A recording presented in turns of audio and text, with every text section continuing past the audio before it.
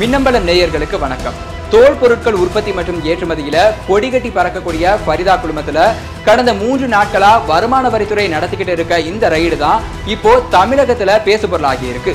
இதுக்கு பின்னாடி ஒரு அரசியல் காரணமும் இருக்கிறதா சொல்லப்படுது. அது என்னன்னு இப்ப பார்க்கலாம். ஃபரிதா குழும நிறுவனம் கையுறைகள் காலணிகள்னு ஏகப்பட்ட தோல் பொருட்களை நாற்பதுக்கும் மேற்பட்ட வெளிநாடுகளுக்கு ஏற்றுமதி செஞ்சுட்டு இருக்காங்க வருஷத்துக்கு ஆயிரம் கோடி ரூபாய் டேர்ன் ஓவர் காட்டக்கூடிய இந்த நிறுவனத்துல வரி ஏய்ப்பு செய்யப்பட்டதா வருமான வரித்துறையினருக்கு புகார் போயிருக்கு.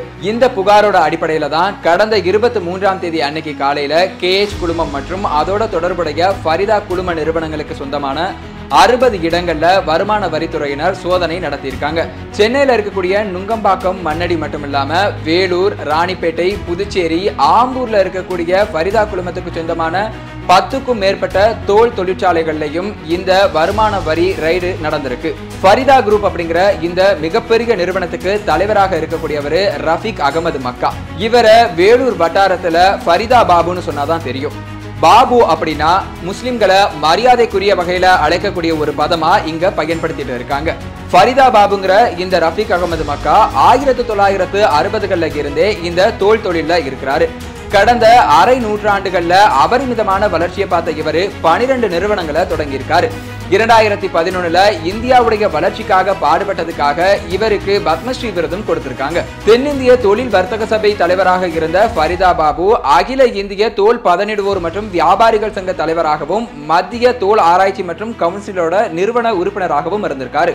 மிகப்பெரிய தோல் தொழில் சாம்ராஜ்யத்தை கட்டி எழுப்பி இருக்கக்கூடிய இந்த ஃபரிதா குழுமத்துல இருபதாயிரத்துக்கும் மேற்பட்ட ஊழியர்கள் பணி செய்யறாங்க இந்த இருபதாயிரம் பேரும் ஃபரிதா பாபுவுடைய பேச்சை கேட்கக்கூடியவங்க அப்படிங்கிறது ரொம்ப உண்மை. இந்த வகையில ஒரு குடும்பத்துக்கு நான்கு பேர்னு கணக்கு பண்ணாலும் ஆம்பூர் வட்டாரத்துல ஃபரிதா பாபுவோட பேச்சை கேட்கக்கூடிய ஒரு லட்சம் பேர் இருக்காங்கங்கிறது அரசியல்வாதிகளோட கணக்கா இருக்கு. இந்த பகுதியோட பொருளாதார வளர்ச்சி மட்டும் இல்லாம இந்தியாவுடைய பொருளாதார வளர்ச்சியிலும் ஃபரிதா பாபுவுக்கு ஒரு முக்கிய பங்கு இருக்கு. இந்த செல்வாக்கு தான் ஆம்பூர் நகராட்சி தலைவர் உள்ளிட்ட மக்கள் பிரதிநிதிகளை நிர்ணயிக்கக்கூடிய அந்த பவரை ஃபரிதா பாபுவுக்கு கொடுத்திருக்கு. உதாரணத்துக்கு ஒரு சம்பவம் கடந்த உள்ளாட்சி தேர்தலையே நடந்துச்சு. ஆம்பூர் நகர திமுக செயலாளராக இருக்கக்கூடிய தலைவர் ஆறுமுகம். இவர் என்ன பண்ணார் அப்படின்னா ஆம்பூர் நகர்மன்ற தலைவர் வேட்பாளரா சபீர் அகமது அப்படிங்கிறவரோட பேரை தலைமைக்கு பரிந்துரை செய்திருக்காரு. ஆனா முரசொலியில ஆம்பூர் நகர்மன்ற தலைவர் வேட்பாளரா ஏஜாஸ் அகமதுடைய பேரு வெளியாகி இருக்கு இதனால ஆறுமுகம் கொந்தளிச்சு இருந்தாரு. அதுக்கு காரணம் என்னன்னா ஏஜாஸ் அகமதுடைய பேரை திமுக தலைமைக்கு பரிந்துரை செய்திருந்தது ஃபரிதா பாபு. ஆம்பூர் நகராட்சியில எந்த கட்சி ஜெயிச்சாலும் ஃபரிதா பாபு கை காட்டக்கூடிய ஆள் தான் நகராட்சி தலைவராக முடியுங்கிற ஒரு நிலை தான் நீடிக்குது. எல்லா கட்சியிலையும் அவருக்கு இந்த ஒரு செல்வாக்கு வழங்கப்பட்டிருக்கு.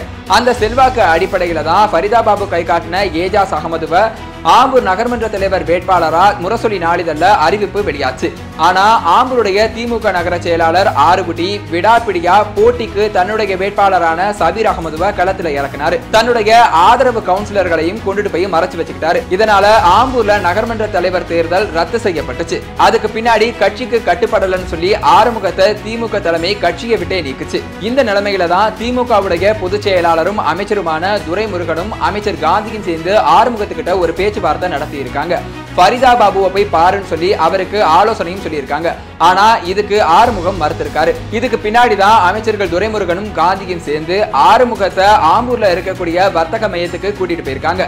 அங்க ஃபரிதா பாபு கூட சேர்ந்து ஒரு பேச்சுவார்த்தையும் நடத்தப்பட்டிருக்கு. இந்த பேச்சுவார்த்தையில ஆறுமுகத்தை திரும்பவும் கட்சியில சேர்க்கிறதுனும் அவருக்கு துணைத் தலைவர் பதவி கொடுக்கறதுனும் முடிவாகி இருக்கு இந்த பேச்சுவார்த்தைக்கு பிறகு கட்சி கட்டுப்பாட்டை மீறியதா நீக்கம் செய்யப்பட்ட ஆறுமுகம் திரும்பவும் திமுக இணைத்துக் கொள்ளப்பட்டாரு.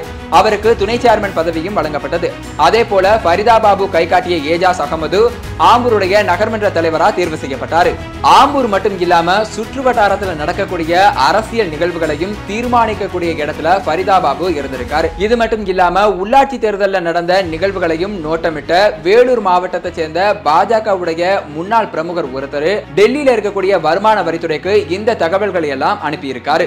ஆம்பூர் ஃபரிதா பாபுவுடைய ஷூல தான் இந்த வட்டார அரசியலே இருக்கு. திமுக அமைச்சர் பொதுச் செயலாளர் கூட ஃபரிதா பாபுவை முதலாளின்னு தான் கூப்பிடுறாரு.